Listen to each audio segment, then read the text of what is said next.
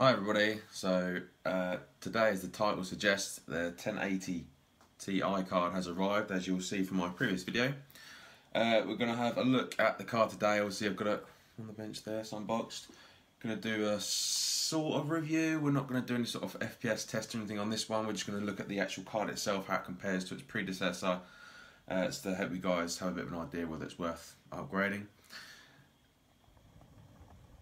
Okay, so if we start with the actual card itself uh, in terms of physically, uh, there's not a lot to go on between this one and the 1080, the GTX 1080, the predecessor.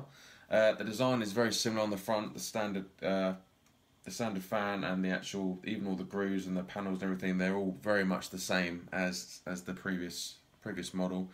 The one main difference though, the interface on the back they have uh, dropped. You can see there they've got they've dropped the DVI port on the there. There's no DVI port anymore. They've literally replaced it with some ventilation. So maybe they needed to do that in order to help it cool down, or maybe they've just thought, "Sod it, we're going to drop the DVI port." I don't know. Um, they did, however, include a uh, DVI to display port adapter, which I don't need anyway. But it's nice that they've thrown that in there because there's going to be a few guys out there that weren't aware that it didn't come with a DVI port, as you'd kind of expect and all their previous cards did. So, but it still has the HDMI and the free display ports that it does before. Um, the power pins, the other the other noticeable change that I've noticed on the top, instead of the the 1080 had the one eight eight pin, this has got uh, an eight and a six pin as well. So requires slightly bit more power there. Um, let's have a look at some of the uh, technical technical differences.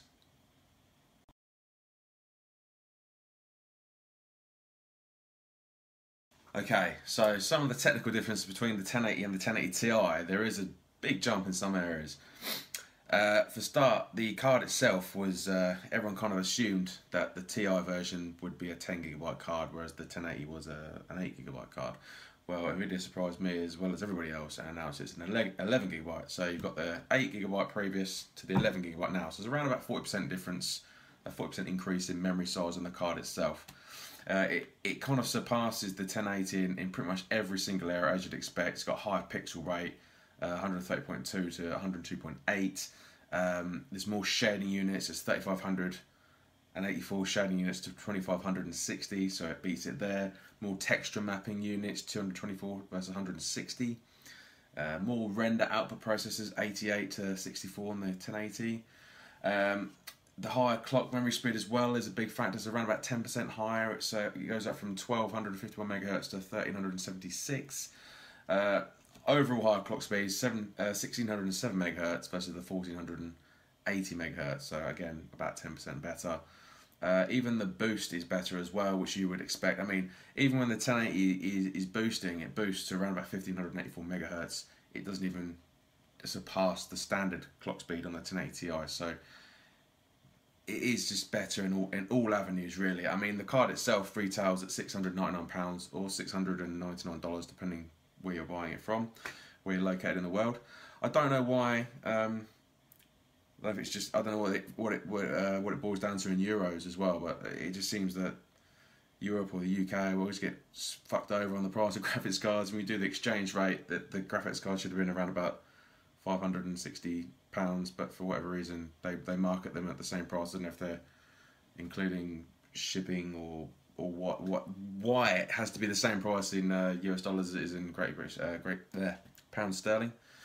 Um, so yeah, not overly sure why, but I mean, I haven't actually played on it yet. I've kept it in the box all weekend. I've been busy, so I've kind of got it out just for this video. Um, looks very similar, like I said, to the other card but I'm expecting big things. I mean, the 1080 kind of did 4K just around in the graphics amplifier, whereas this it's going to be 30 35% better. So I'm expecting to see that in the in the test that we're going to do in the next video. So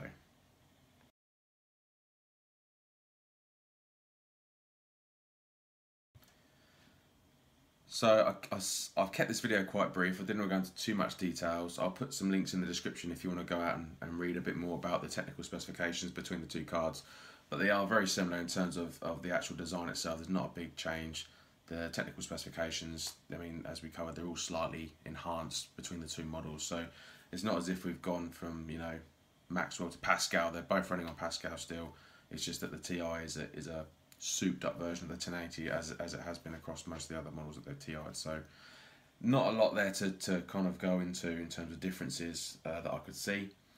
Uh, stay tuned for the next video because we're going to do some gaming on it. We're going to see how it fares in 4K, how it does in 1080p. We're going to compare the two, compare the old card as well. We've got a lot coming up. Also, wanted to do um, something like an off-topic Sunday. If there's a, a, video I wanted to do for a while now, um, put it in the description down below. But yeah, if you can comment on something you want to see, doesn't have to be anything to do with tech related, as we did the uh, we did the couples challenge in that a while ago. I might start doing some more of them, but I'd like to have your input down below. If uh, if there's a few to choose from, yeah, we'll pick one and we'll and we'll do it. So it can be completely off topic, whatever you want. Um, nothing too stupid though, please. I don't know if it's going to be too too crazy. But yeah, drop it down below, get some likes in it, and then yeah, we'll uh, we'll pick one to do for next Sunday. Um, so yeah, stay tuned, guys. Um, next video is going to be for Honor, the new game for Honor. Well, it's relatively new, it's about a month old. Uh, we're going to do the standard 4K test, 1080p test compared to the onboard and on the 1080 Ti. So stay tuned, it's all coming up.